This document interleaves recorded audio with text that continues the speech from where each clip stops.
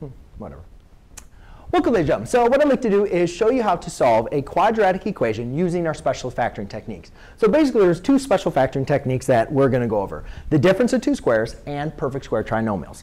Um, and the basic, the best thing of, that I've noticed here is perfect square trinomials, perfect square, and difference of two squares. Square numbers is what's going to make the special factoring technique so special. So what I want you to understand here, or what at least I want you to notice, is when you're dealing with special factoring techniques, notice how the terms, the numbers that we're using are what we call square numbers, meaning those numbers you can take the square root of. So when you have to factor, or you know, when you have to factor an expression or solve an, solve a, an expression using factoring, look for square numbers because when you have square numbers, we can apply the special factoring techniques.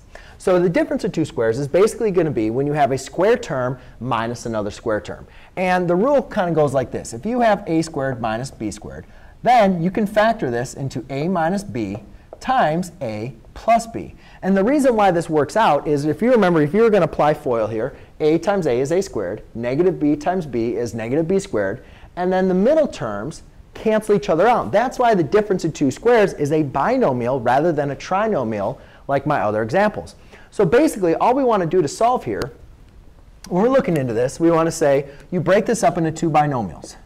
And you say, all right, what is the square of my middle term, of my first term, which is x squared? Well, that's just going to be x times x. Then what is the square of negative 36? Now remember, it has to be negative, so therefore one's going to be positive, one's going to be negative. Well, that's going to be negative 6 and positive 6 equals 0. Now you just apply, apply the zero product property. And what you'll notice is there's kind of a pattern. x equals, x equals 6 and x equals negative 6 as you go ahead and solve. You get x equals 6 and x equals negative 6.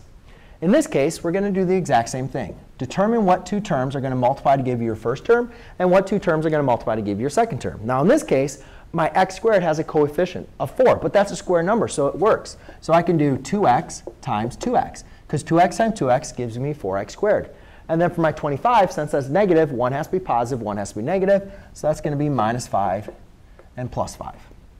Therefore, that gives me 2x minus 5 equals 0, and 2x plus 5 equals 0. If I go ahead and solve, I add the 5, divide by 2, x equals 5 halves. Subtract the 5, divide by 2, x equals a negative 5 halves. Okay? So you can see it's the same solution, one positive and one negative. In the next example here, now my first term is heavily loaded with a large square number, and then I have 1. But remember, 1 is a square number, because the square root of 1 is 1. So I just need to say, all right, what two terms multiplied here to give me 16x squared? Well, that's going to be 4x and 4x, negative 1 and positive 1. 4x minus 1 equals 0. 4x plus 1 equals 0. Add 1, divide by 4, x equals 1 fourth. Subtract 1, divide by 4, x equals negative 1 fourth. Okay? So that's going to be for your different, different squares, um, or difference of two squares. Now what we have is we have square terms in the front and the back. But now you can see that we have a trinomial. Therefore, our middle terms are not canceling out like they did in the difference of two squares. Well, what this creates is perfect square trinomials, where actually our binomials are going to be exactly the same. And let me show you.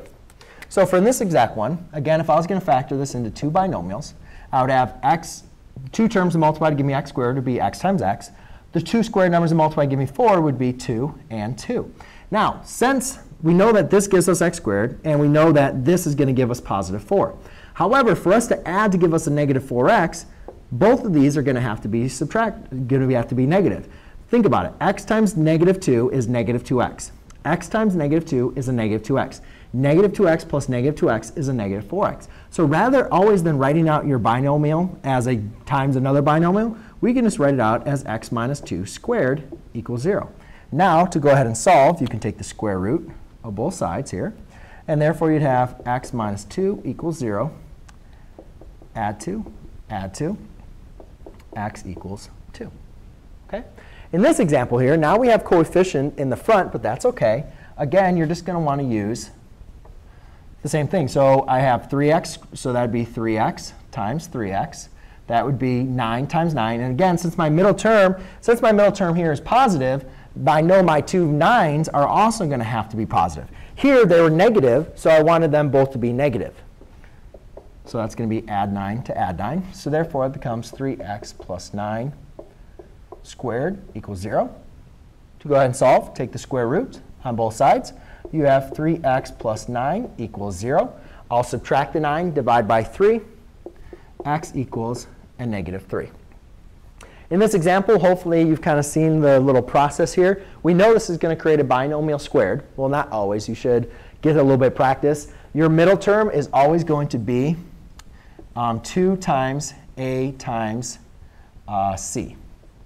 Okay? If that was a squared and that's c squared, your middle term is 2 times a times c. So the square root of 100 is 10.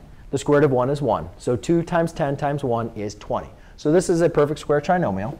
So therefore, I know I'm going to use 10x squared. My middle term is positive, so it's going to be plus 1 equals 0. OK? Nope, that's not x squared. That's just 10x plus 1. Now, I go ahead and take the square root on both sides. And I have 10x plus 1 equals 0. Then I will subtract the 1, divide by 10, and I can have x equals negative 1 tenth. So there you go, ladies and gentlemen. That is how um, you solve a quadratic equation using your special factoring techniques. Thanks.